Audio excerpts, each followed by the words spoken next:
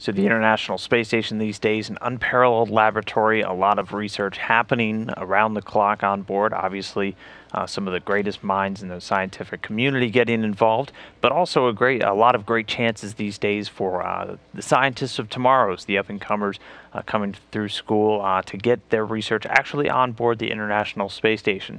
So today we're going to learn a little bit more about that. I'm joined by Dr. Jeff Goldstein, who's the director for the National Center of Earth and Space Science Education, who's, and they're currently operating the Student Spaceflight Experiments Program, one of these great opportunities to get students involved at an early age, get them excited about scientific research, and then see some real results. So, first off, Jeff, thank you so much for joining me. I really appreciate it. And if you could start us off, maybe just tell us a little bit about the center and what the Student Spaceflight Experiments Program is looking to accomplish. Well, really great to be with you uh, this morning over here. Um, the the center oversees uh, the creation and delivery of large-scale national science, technology, engineering, and math programs, which is the familiar acronym STEM. Um, and the, the two core goals are to provide uh, students in general an understanding of how science and technology works. Um, it addresses science literacy at the most fundamental level, but it's also about inspiring and engaging the next generation of America's scientists and engineers and really getting them excited using um, the earth and space sciences as, as the vehicle. Um, we also offer programs like the Student Spaceflight Experiments Program internationally uh, to communities across the world through our international arm, which is the Arthur C. Clarke Institute for Space Education. All right. Well, again, it's great to hear about uh, just these opportunities are out there, and obviously we want to get as many students involved as possible. And it's a pretty exciting time for you guys. You actually have 18 more experiments getting ready to fly on the next orbital vehicle.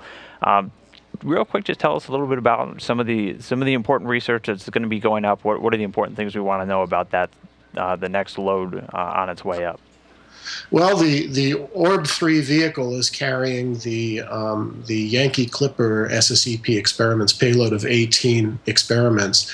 And uh, what's interesting is that each one of these SSEP missions engages uh, a number of communities, in this case, 18 communities across the US and Canada.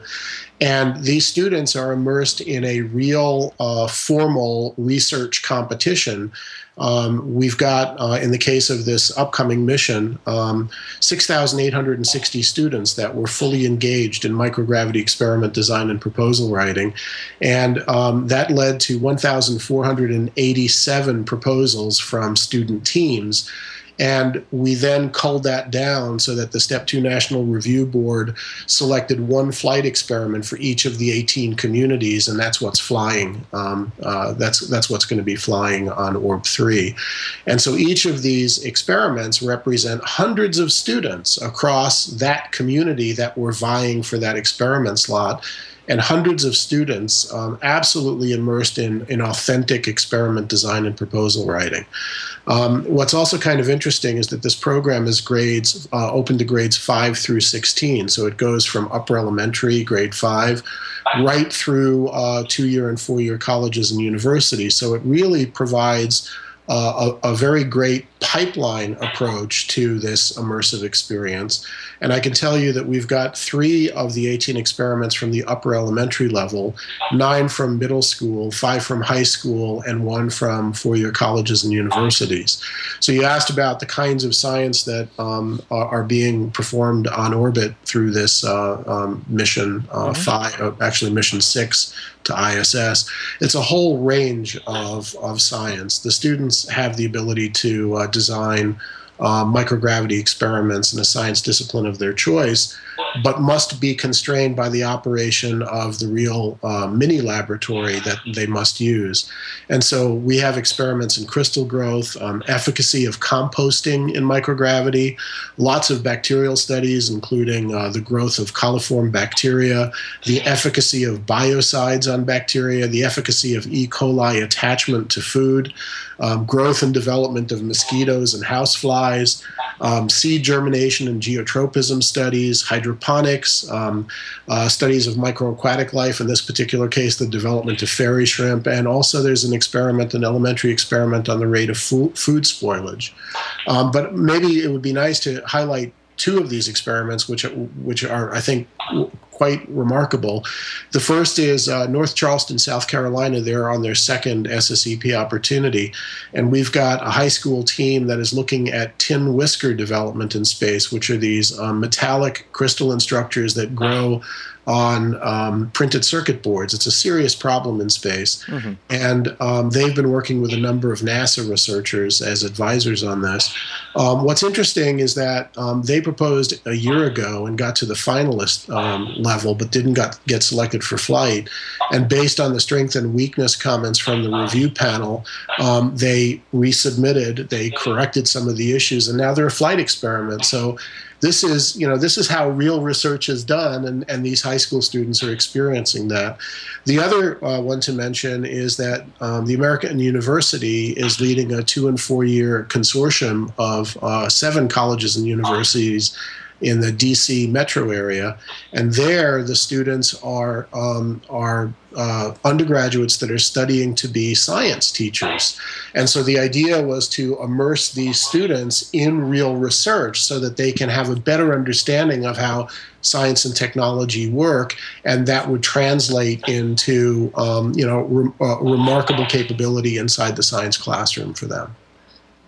And so, I mean, just wow, really hitting kind of the full gamut, getting the same experience as you said that actual researchers are getting, and just, I mean, the range of ages is very impressive. So, uh, real quick before we close, how, how can students get involved with this? Is there a website to go to? What What is the best way to, you know, for if any student watches this, to go get their teacher and say, hey, I mean, this is something we want to do? Yeah, we uh, the the Student Spaceflight Experiments program has a dedicated website. So if you look at if you go into uh, your browser and put in SSEP or Student Spaceflight Experiments program, you can go right to the website. We've got um, Mission Eight that was just announced. Um, last week, which is our 10th flight opportunity in, in, believe it or not, just four and a half years. And we are now um, talking to communities across the uh, the country. In fact, we've got a lot of communities in Canada that are interested in starting uh, program operations in uh, in uh, February of 2015 with a flight to ISS in the fall of 2015. So, if any communities are interested in figuring out how they can come aboard and get their own very real space program um, they should uh, go to the website. And I should I should also, by the way, say that um, this is a remarkable effort that is enabled uh, with this uh, wonderful Space Act agreement between NASA and NanoRacks. And this is a commercial space venture that is is enabled through that commercialization uh, on orbit. And we are also working in partnership with the Center for the Advancement of Science and Space which runs the U.S. National Laboratory on ISS. So this is this is what partnership is really all about. And it's always great to see those partnerships come to fruition, especially when it means inspiring the researchers of tomorrow and getting them on board. So, again, Dr. Jeff Goldstein, the director of the National Center for Earth and Space Education, talking to us about Student Spaceflight Experiments program. Get involved, follow along. It's a really great program. Jeff, thank you so much for joining me today. I really appreciate it. You're very, very welcome.